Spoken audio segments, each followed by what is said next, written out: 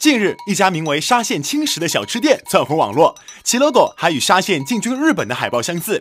广大网友啊也发表了自己的看法。那么，到底这家店和沙县小吃有没有关系呢？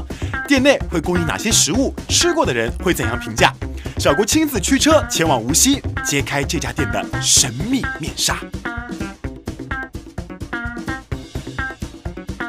想到什么东西？看到这个，因为看到沙县，其实我并不会想到沙县会有这样这样子的牌子了。有了解过里面卖什么东西吗？应该是沙县吧，沙县小吃。是是素的吧？轻食吗？这是卖沙拉的吧？准备过去吃，个好高，不知道是不是以前的菜了。期待好吃吧？刚才看你们有走进沙县轻食，没有过十几秒钟，你们又走出来了，是为什么？因为我没有嗯喜欢吃的啊，我以前就喜欢在沙县小吃那个鸭腿饭嘛，里面全部都是什么猪八盖浇饭啊，还有什么这些之类的。就连无锡当地人看到这家店时啊，也会认为和沙县小吃有关。那究竟葫芦里卖的是什么药呢？和小龟一起进去打探一番。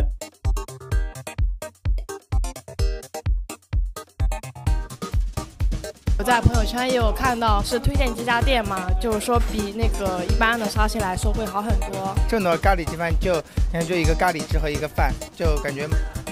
蛮单调，没有沙县小吃好吃，那个入味啊！你就是新一代的沙县，以前的沙县被淘汰了。对对对，呃，这跟跟这跟沙县小吃有关系吗？没关系。他们经营的种类完全不一样，它跟沙县小吃重叠的话，估计也就一个饺子，其他的都跟它的都不一样，怎么能说是它的升级版呢？我们还是问问这家店的老板，看他会怎么说吧。你知道吗？你这家店现在特别的火，感受怎么样？感受啊，感受就是莫名其妙的就红了，不想说，一点都不想说。外卖生意过来了，外卖我们几乎都不做，我要把店给关掉，来不及，来不及。你看我们这个人把累的背都已经驼了，看到了吗？这是我请的帮工。你看这餐点，你看，哎呦，哎呦，这餐点都已经歪了，然后这还有中学的。有没有想过要扩大经营的门面？没有考虑过，因为我们自己还没满月呢。今天是四号，还有两天我们才满一个月。那老板，你们这个沙县轻食和沙县小吃到底是一家人吗？嗯，我们是一家人啊，同一家人对不对？呃，说是同一家人，应该是他们的分支吧？啊，这个怎么说呢？我们的关系很暧昧。你是不是轩轩的歌听多了？